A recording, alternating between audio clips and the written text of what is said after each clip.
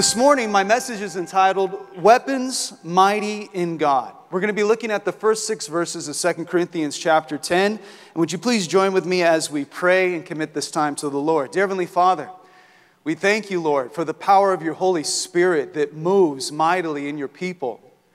And Lord, I ask today, God, as we have entered your courts with praise, as you inhabit the praises of your people, that now your Holy Spirit would move among us that you would give us ears to hear what your Spirit would say. And Lord, I pray that you would uplift us, that you would refresh us, and that you would strengthen this body, Lord, your body, that you would minister according to your perfect knowledge of everything that's going on with every person that is here today. I ask, Lord, that counseling would take place through the Word of God. I ask, Lord, that wisdom will be given through your Word. And Lord, now we ask that you would add your blessing to the reading and to the study of your holy scriptures. And we ask these things in Jesus' name. And all God's people say, Amen. So today we're going to glean a valuable insight to the life of Paul and the responsibilities that he carried constantly in regards to the well being of the church. But not only that, we will also gather some valuable information regarding the type of spiritual warfare that we face as Christians and the means by which we may find ourselves victorious in that warfare. Now, if we're honest with ourselves, no one likes to lose. Now, some people may dislike losing more than others, but generally speaking, we do not like losing. And I believe the sentiment is the same when it comes to losing spiritual battles. I don't know if you've noticed this lately, but it seems that there have been so many attacks against the church just in general. We've seen families under attack and marriages under attack, individuals being overrun by the lusts of the flesh and sinful desires.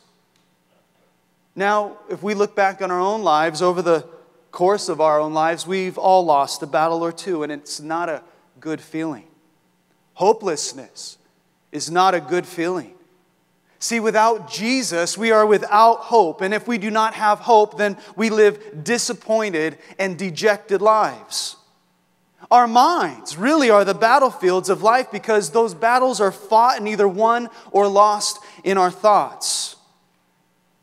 The actions of our lives follow suit with the thoughts that are in our minds. And if we repeat an action long enough, then the time needed to process the thought connected to that action becomes shorter and shorter and shorter. Meaning that by the time we've traveled down a particular road of action, we've become so accustomed to certain actions that they seemingly become involuntary. Don't even have to think twice about it. We may not even realize at that point how abnormal our evolving new normal has become. We find that habits dictate our thoughts and then our actions as well because we've been under their control for so long. The Bible calls this being under the control of the lusts of the flesh. And the only thing that comes from being under the control of the lusts of the flesh is corruption. Sin corrupts our thoughts. Sin corrupts our emotions. Sin corrupts our marriages. Sin corrupts our relationships with other people. Sin corrupts us to the core. And this is why we see terrible things taking place in the world. This is why we see Christians not able to take control over the flesh because they're overrun by the thoughts in their minds that turn into actions because they never took those thoughts captive and subjected them to the lordship of Jesus Christ in their lives. And Paul, this morning, as we're going to be looking at this passage of Scripture, is going to be addressing this very issue with the Corinthian Christians here in chapter 10, beginning in verse 1. Point number one this morning is this the power of the flesh. I just have two points for you this morning. Point number one the power of the flesh. Verse 1, 2 Corinthians 10 says, Now I, Paul, myself, am pleading with you by the meekness and gentleness of Christ, who in presence am lowly among you, but being absent am bold towards you. Paul leads off this section of his letter addressing really indirectly the accusations against him being the type of guy that talks real big, tells other people what they should be doing, or in this case, writes real big to the church in Corinth, but cowers in the presence of those he would be writing to. I would just like to say right off the bat on this subject that meekness does not equal weakness. I've come to discover more and more how challenging it can be to be a pastor of a church filled with people that you care about. Because when they hurt, you hurt. When they struggle, you struggle. Quite frankly, my, my job would be so much easier if I didn't care about any of the people. Those that are in places of spiritual authority are not to be lauding over people, but rather exercising the philosophy of ministry that Jesus had one of meekness, one of gentleness, and one of servanthood. Meekness and gentleness should be hallmarks of our Christian faith. So, Paul, the spiritual authority, was pleading with meekness and gentleness in Christ. In 2 Corinthians 11, verse 28, he said, Besides the other thing which comes, besides the other things, what comes upon me daily is my deep concern for all the churches. A person that is in a place of spiritual leadership has a concern for the well being of the church. They're not cold, they're not hard hearted, they're concerned for the spiritual well being. Are they living in sin? Are they returning to idolatry? Are they having problems in their marriage, marriages? Are they having issues with their kids? Were they battling diseases? And when you love people, you cannot help but be concerned with them. Yet, though Paul had every right to exercise authority, he pleads with them humbly. In verse 2, it says, I beg you that when I am present, I may not be bold with that confidence by which I intend to be bold against some who think of us as if we walked according to the flesh. There were those in the church that were accusing Paul of being in the flesh. I don't know if you realize this or not, but you can be lowly and bold. You can be humble and bold. You can be humble and speak the truth with power. There were some in the church that questioned Paul's authority.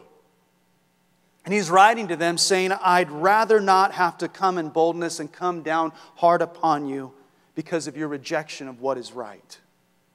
Rather, he'd wish that they would shape up on their own and that he wouldn't have to intervene. And really, that's the desire for any pastor. And if you come to a Calvary chapel, you are going to get teaching through God's word. And some of us may not like that. We may not like the fact that a lot of counseling takes place through the pulpit because the Word of God is being taught and addressed, and issues that need to be addressed are addressed. But a pastor that cares about his church will teach the whole counsel of God. And you'll either love it or you'll hate it, but you'll know what the truth is.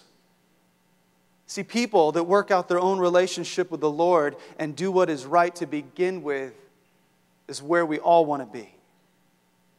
Often, the actions of others put those in spiritual authority in a very tough place where they have to because of their responsibility before God, where they have to exercise boldness in correcting those that are in error in the body of Christ. And no one likes that job.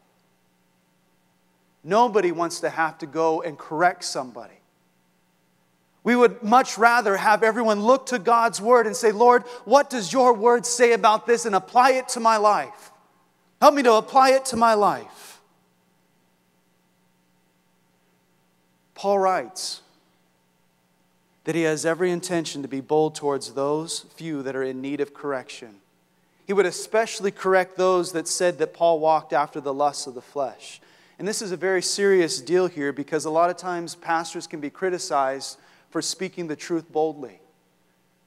I don't know if you realize how blessed you are to attend a church where the Word of God is proclaimed boldly and with power. Because that's not the case for a lot of churches in our country today, where you actually read through the Bible. You know, a lot of times in churches, it can be how many of you have your Bibles here today? Would you hold them up? And you hold them up. If you have it on your phone, that's great. And they'll say, okay, put it under your seat because you won't be using that today. We actually look through God's word and read it and hope and hope and pray that you outside of these four walls will say, Lord, speak to me through your word. There are those that are in the church today that would rather smear the church and blaspheme the name of Jesus than to admit what they're doing is wrong and that they need to change. They do not submit their lives to the authority of God's word, and thus they reject anyone exercising such authority for correction. The power of the flesh is stronger than any of us. And if we think that we can control the power of sin in our lives by any other means than our complete dependency upon the Holy Spirit, we are a destroyed people. In Ephesians 6:12 it says, and you know it well. For we do not wrestle against flesh and blood, but against principalities, against powers, against the rulers of the darkness of this age, against spiritual hosts of wickedness in the heavenly places. There's a spiritual battle that we are facing and that we are in every single day. You can't fight this in your own strength. You know, just a couple weeks back now, my kids were having a really rough night sleeping. I have three. My oldest son, Hudson, who is nine, my daughter, Ava, who is seven, and then I have little baby Harrison, who just turned one. You know, we joke about the fact that my wife and I just hated sleeping so much we decided to have another child. And we did. And it's one of those things where all parents go through it. And as our forefathers did, so must we. And we were finally in that place where my oldest son, man, he's a great sleeper. My daughter, she's sleeping through the night. And even the baby's starting to sleep through. And I don't know if you parents have young kids or if you have kids that are grown, maybe you can remember back. I know some of us are probably still going through counseling after what we've gone through with our children. But I remember one night in particular after we had slept for a couple weeks, and you know how hard it is once your body starts getting used to sleeping to start waking up again. And my son woke up.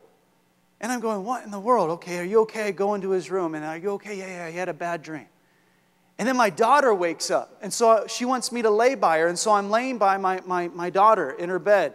And then as I'm laying in my, in my daughter's bed with her, uh, I hear my son bolting down the hallway to our room.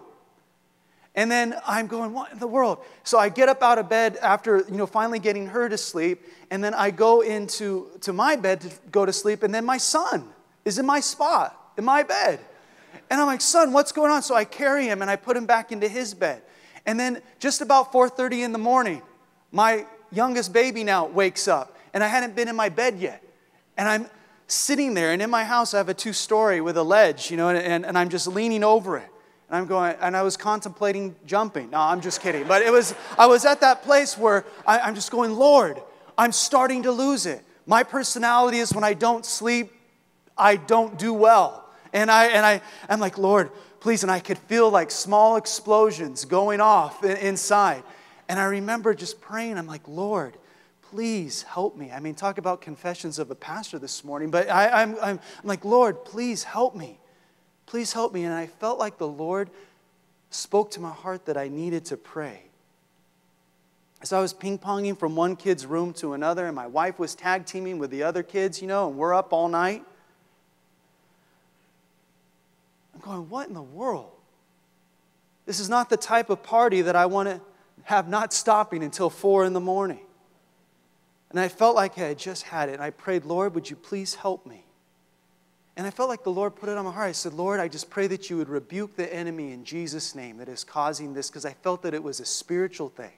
And I'm not saying that every time your child wakes up at night it's demonic activity, okay? But I'm just saying for me, I just needed to pray for that.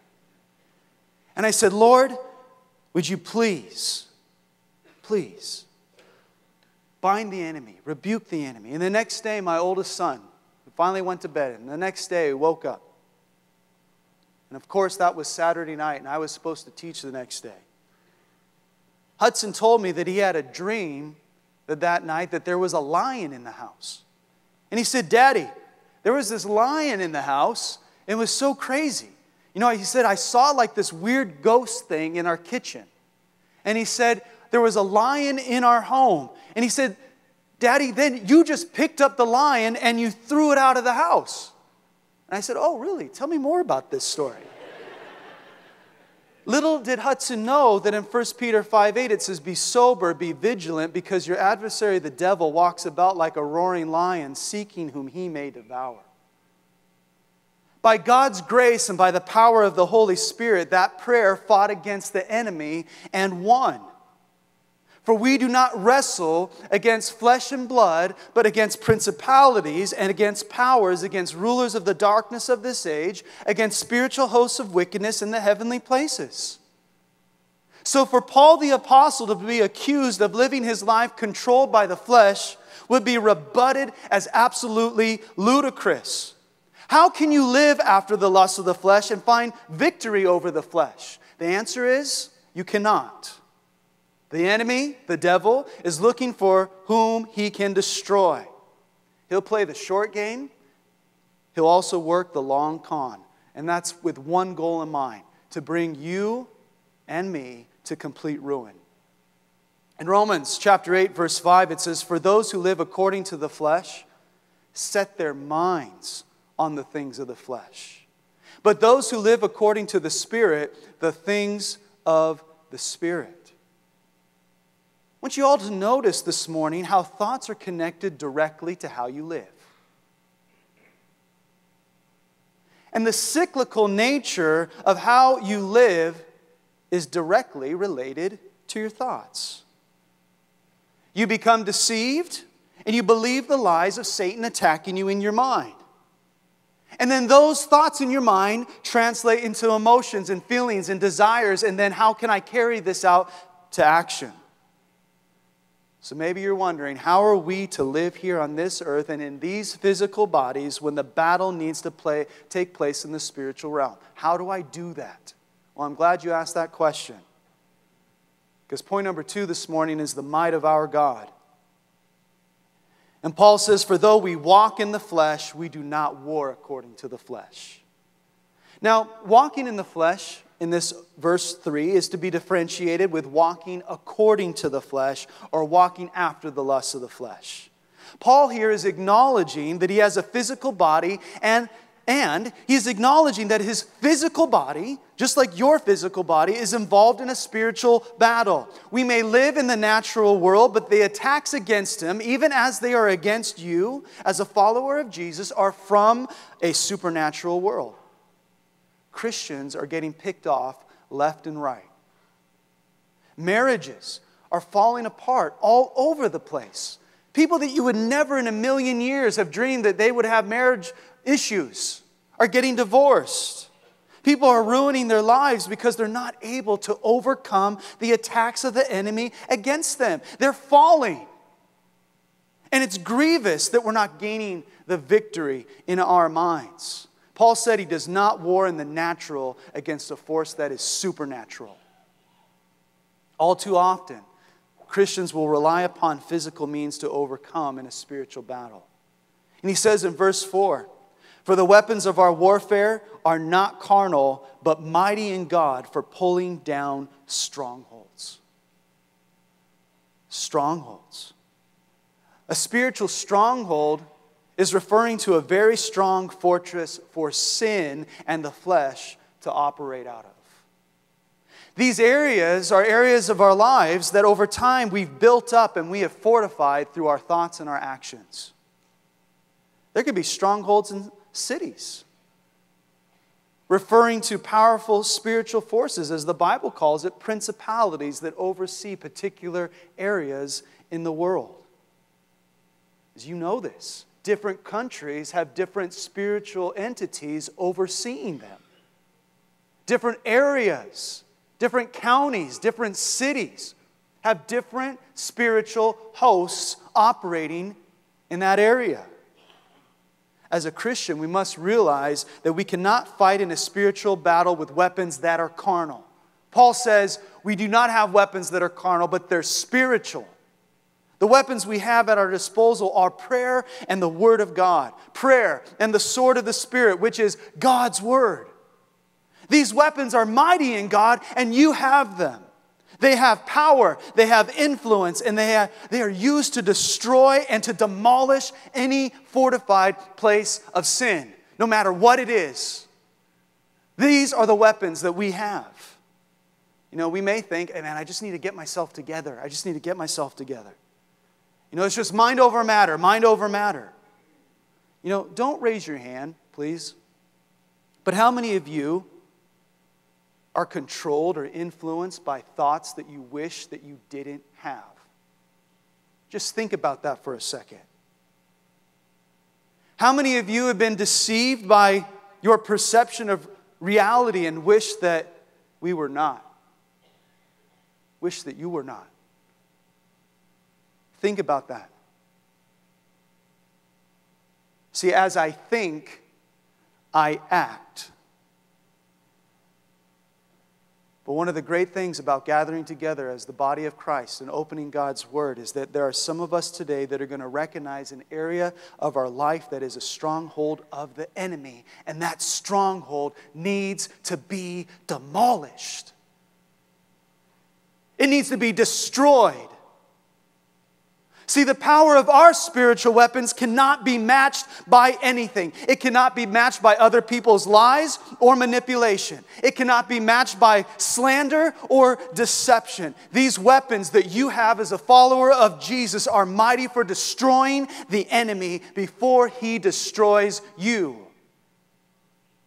In verse 5, it says, These weapons are for casting down arguments and every high thing that exalts itself against the knowledge of God, bringing every thought into captivity to the obedience of Christ. Our weapons in God cast down spiritual strongholds, arguments, and every high thing that exalts itself against God. Everything. Today, Worldly thinking is a stronghold in the life of a Christian. The enemy may plant thoughts in our heads about someone or about something. And then we start visualizing what it would be like to maybe be with that person or to be in that position. And even it would seem that our subconscious could start making plans on how we're able to achieve those things that we've been thinking about. Thoughts that contradict God and His Word contradict the truth. Thoughts that contradict God and His Word are contradictory to what is truth. Arguments, it says here, really are imaginations, lofty things that are centered around ourselves, our own wants, and our sinful desires. Things that exalt themselves to be in the position of God in our lives, in that they control us. We serve them. We become consumed by these thoughts, and they warp us, and we can't let them go. We, we, we've become completely changed by them. Thoughts that would remove us from what we know to be true about God and His Word and replace it with something else. Replace God's Word in your life with a lie from Satan.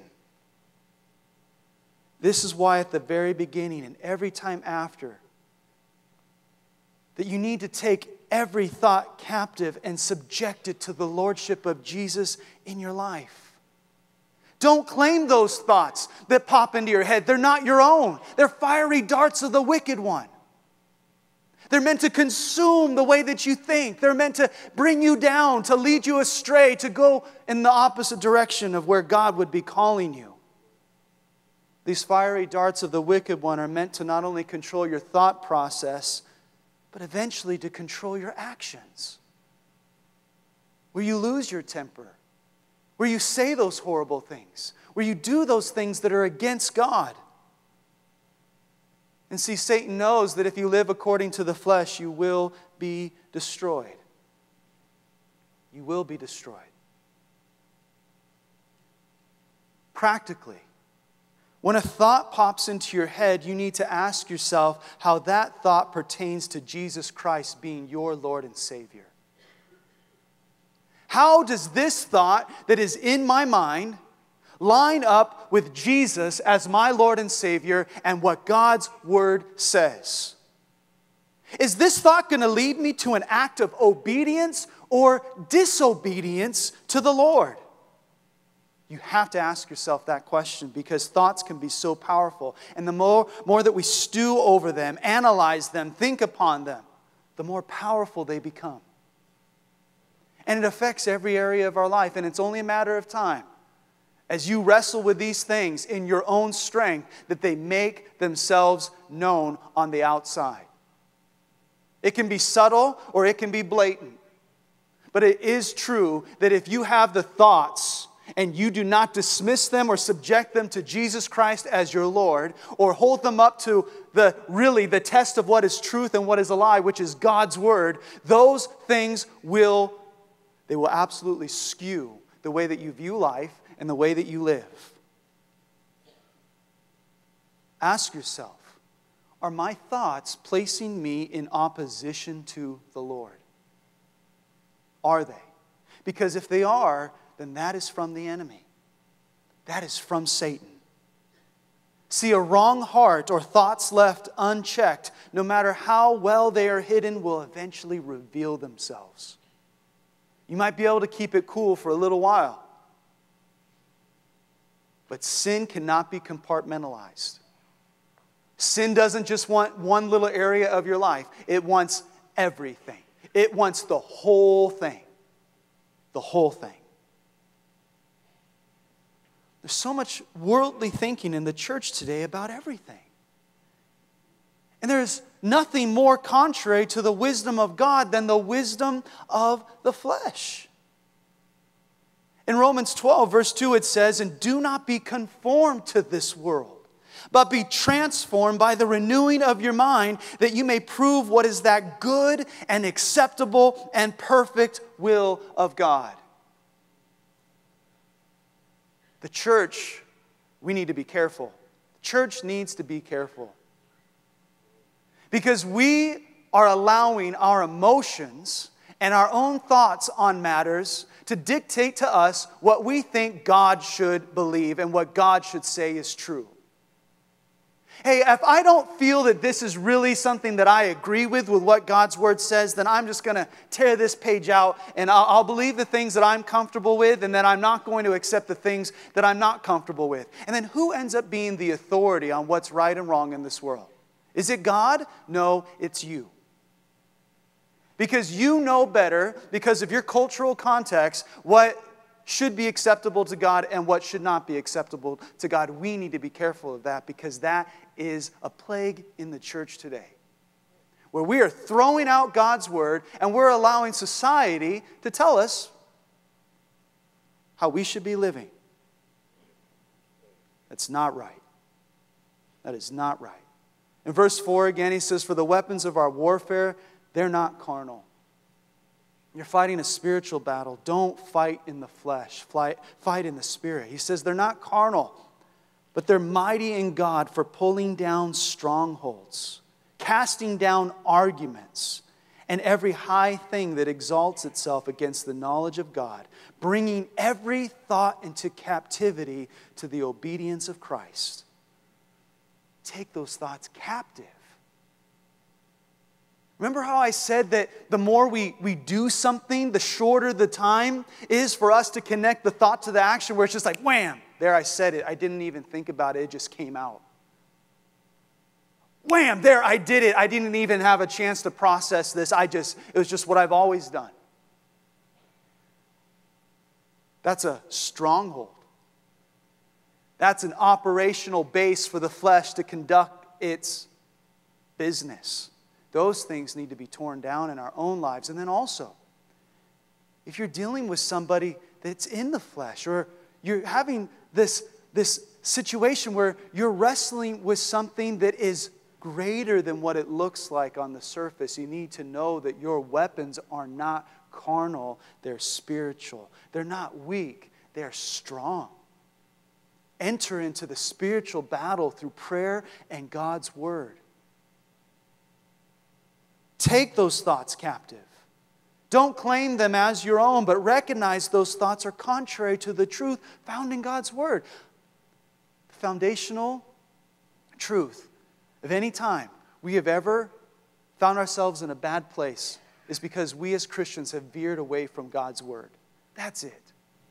If you look back on anything in your life, whether it was the other person or you, and you find yourself in a situation, somebody's not living according to God's word. That's it. This is the direction for life. This is what shows you what is truth and what is a lie. This is what you hold on to when you're wrestling in the spiritual realm with things that are so far beyond you that are meant to consume you, to depress you, to oppress you, to discourage you, to get you to quit, to get you to drop out, to get you to say those things and do those things that are against God that have a collateral effect of damage. You got to be careful because it starts right here in your mind. That's the battlefield right here. So if I recognize, Lord, I know this isn't of you because I know what your word says. You've not given me a spirit of fear, but of power and of love and of a sound mind. I recognize that. Lord, fear not. I'll never leave you. You say you'll never forsake me. Thank you, Lord, for that. Wait a second. I'm starting to lose my temper, and I really feel like giving this woman a piece of my mind. Listen, the anger of man does not produce the righteousness of God. You hold on to those things. Lord, I'm too weak. I don't think I can make it through this. No, what does God's word say? I can do all things through Christ who gives me strength. Lord, this is the most difficult situation I've ever found myself in. What am I to do? Oh, I know all things work together for the good of those who love God and are called according to his purpose. I hold on to those truths. Lord, I feel like you hate me because I've sinned. Well, no, the Bible says if you confess your sin, God is faithful and just to forgive you and cleanse you from all unrighteousness. Lord, I'm feeling prideful right now because, you know, man, I, I, I'm, I'm getting the promotions in my job and, you know, I've made a lot of money and, you know, I'm pretty, pretty powerful where I'm at. The Lord says in Jeremiah 9, let not the wise man glory in his wisdom. Let not the mighty man glory in his strength. Let not the rich man glory in his riches, but let he who glories glory in this, that he understands and knows me, that I am God, exercising loving kindness righteousness and judgment on the earth, for in these I delight, says the Lord. You hold on to the things that are found in God's word. So you recognize the attacks of the enemy and you resist him. In James 4 7, it says, Therefore, submit to God. Is it my will or is it your will? Submit to God, and it says, Resist the devil, and he will flee from you. He will flee from you submit yourself and the thoughts of your mind to the Lordship of Jesus in your life, and you will find great victory and power.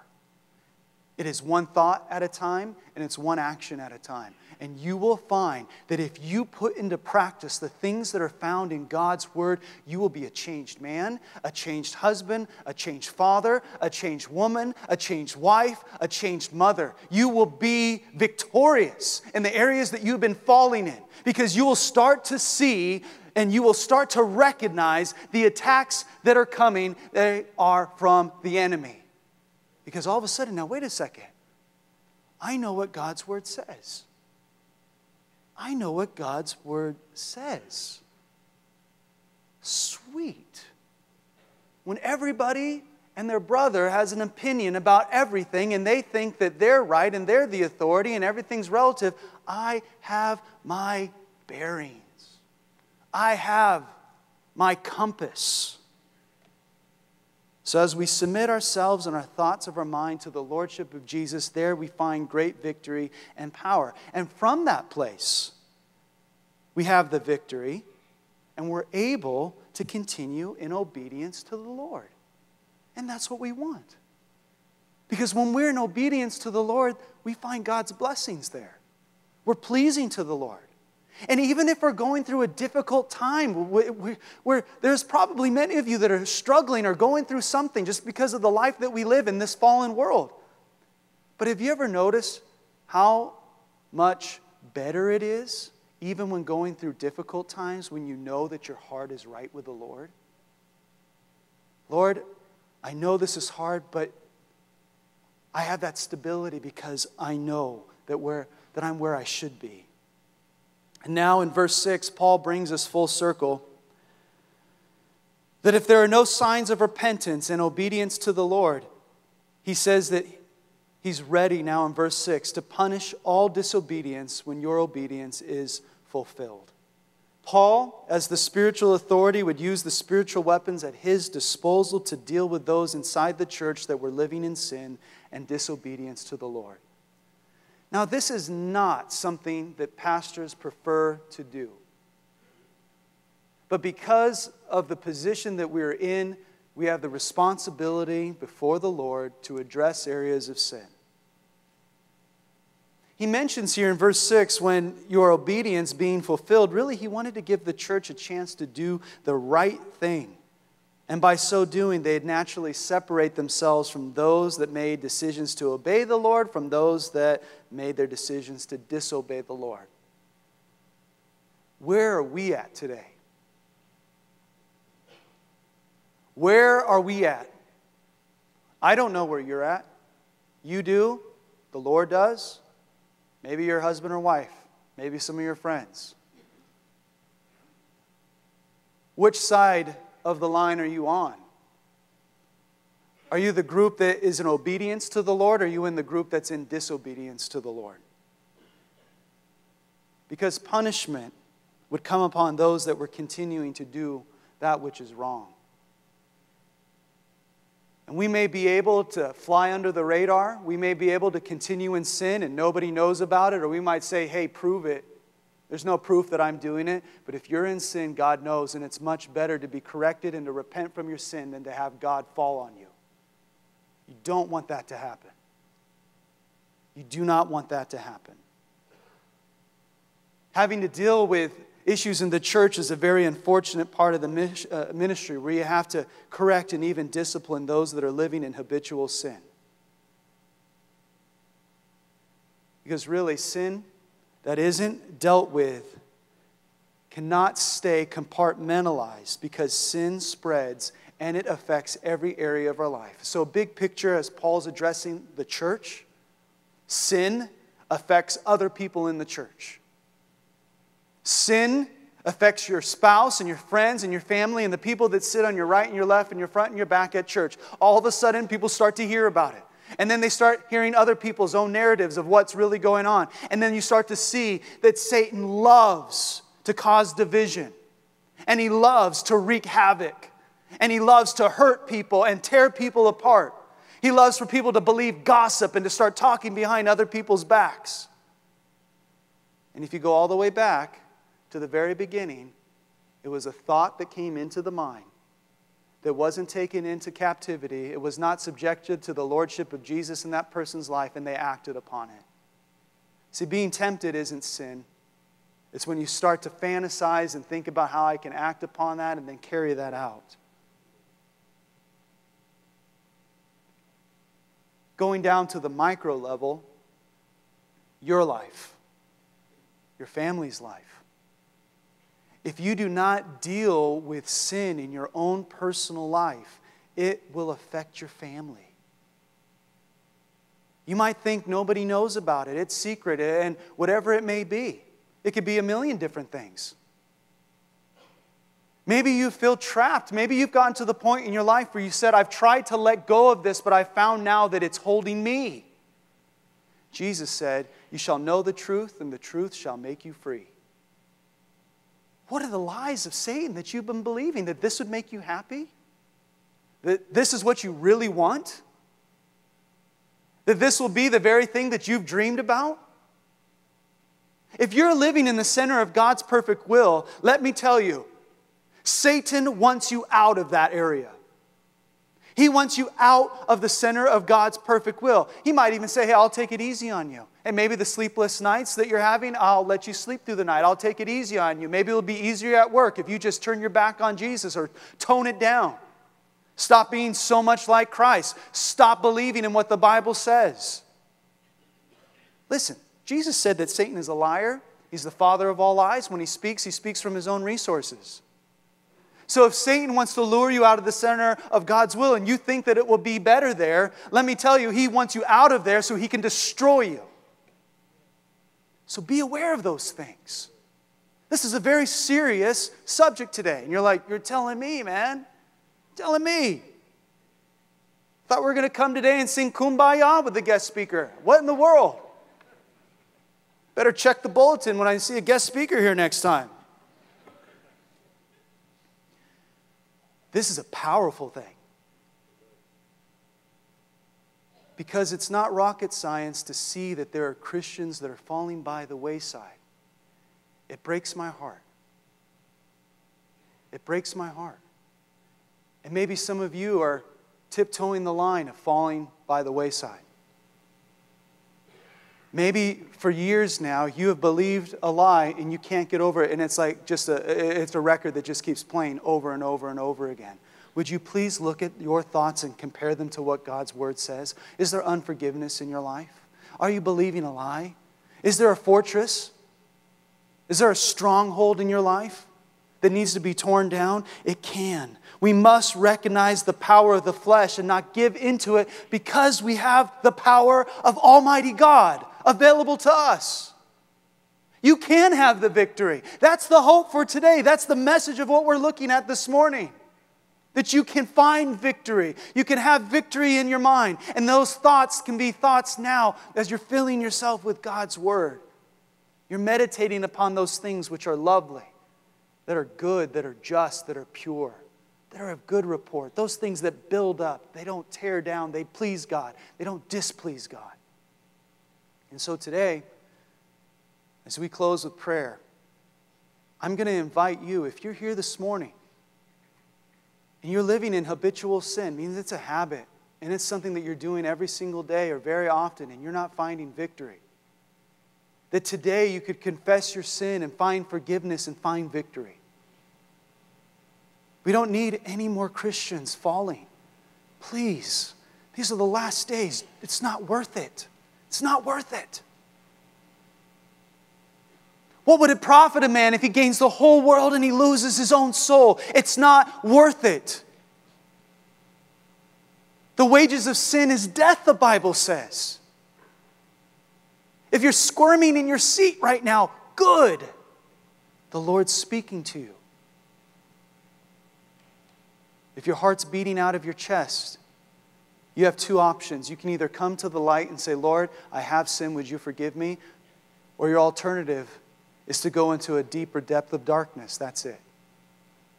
See, when I lived, I, used to live in Hawaii. I lived in the island of Maui. You know, the whole suffering for the Lord thing. And I was there, and because of the tropical region, I don't know if you've been there, you probably, uh, you know, I'm sure there's some people who've been there, lived there, been on vacation, but uh, because of the tropical nature of that region, bugs are huge. These are big bugs. There's centipedes over there, like 12 inches long, you know, and they're, they're just massive and they're poisonous and they bite and they have armored shells. They have cockroaches that are really, really big. I mean, they're so big that you could kind of like skateboard down the street with them, you know. They're huge. And we had a problem in my, my uh, man cave with a couple of my buddies, and we lived in an apartment where underneath the kitchen sink, there was always these cockroaches that would be in there. And we always had to kill them. And the interesting thing was, if the kitchen light was on and the doors were closed, they were in darkness. The moment we open them to get a dishwasher tablet out or whatever to put in the dishwasher, whatever it might be, the light would shine in that area and they wouldn't just run, they would try to hide themselves in the shadows. Oh, behind the Clorox wipes or whatever it might be, they would go, and they would hide. And see, that's what happens to us when the light of Jesus shines on an area of your life and you don't come to the light and say, Lord, I need forgiveness. Lord, I need help. You have to go to another place that is shady, that is dark, and you have to retract yourself back. And you find yourself in a worse position than you were to begin with. And so this morning, if you have an area of your life where you need to confess sin to the Lord, I'm going to give you that opportunity. If you're here this morning and you've never given your life to Jesus and you showed up on this one day because you know your grandma said, "I want you to come and hear Pastor David." And he's not here. And your grandma was really upset that I was here. know that this message is for you that you can find forgiveness of sins and that you can have a personal relationship with the God who created you. And that no matter how strong the addiction, no matter how long you've been in that habit, that whom the Son sets free is free indeed.